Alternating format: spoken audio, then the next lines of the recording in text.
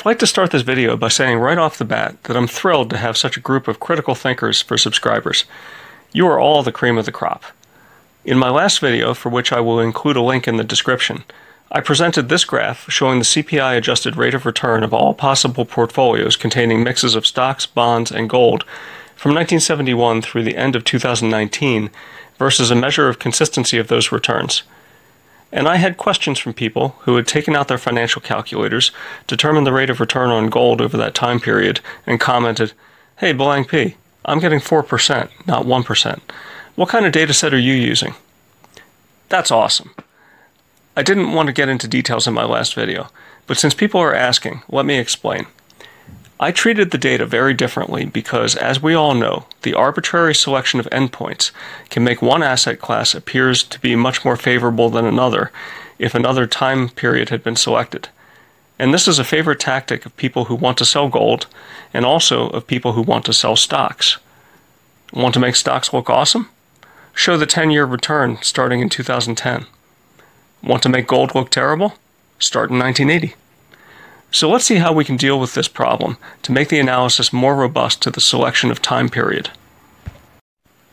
Here's a plot of what a person would have experienced if he or she had bought $100 worth of gold in 1971 using CPI adjusted cash.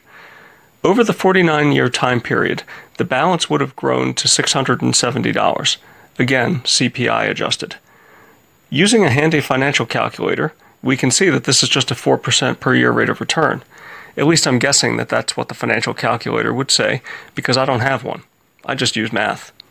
I put the equation down below for anyone else who doesn't have a financial calculator. So this 4% is obviously a nice real rate of return. But one could easily argue, hey, you picked 1971 deliberately to make gold look good. And when using endpoints, this is certainly a danger. Whether the person doing the work was being nefarious or just didn't know any differently. So let me show you what I did to make the result more independent of endpoint selection.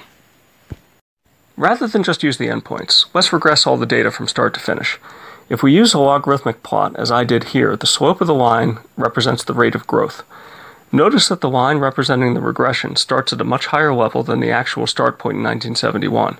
The significance of this is that it removes the impact of luck on the part of the person who started in 71, but it also removes the significance of bad luck on the part of the person who started in 1980 or 1981. When looked at this way, we can remove some of the time variation from the estimated return. Instead of it costing $100 to buy gold in 1971, it would cost $249 to buy the same amount. Again, this is a mathematical fiction, but it makes the result more robust to arbitrary time selection. At the end, the person would sell the gold for $477. This leads to a rate of return of 1.3% per year instead of 4% per year, and such is the peril of arbitrary time selection. To make the illustration much more clear, let's use uh, 1980 as our starting point. A person who had the misfortune of buying gold at this point of time is still sitting on real losses. Of course, this is a technique used by the air quote financial experts to show just how bad gold is and why it should be avoided. Are they being disingenuous or just plain ignorant? I don't know. Maybe there are some in one camp and some in another. I'm not a financial expert, so I'm probably not qualified to say. We can do the same analysis with stocks. Here's a 100% stock portfolio. Just to be clear, I'm speaking about the S&P 500 index with dividends reinvested. If we calculate the rate of return just using endpoints, then the financial calculator would spit out 6.3%. The regressed rate of return is 7%. The reason for the difference is the starting point of 1971. Stocks were on the expensive side that year. Now, there's much more to say about this. Notice that just like gold, stocks had a couple of bad decades. A person who bought in 1971 would have real losses for 15 years before breaking even.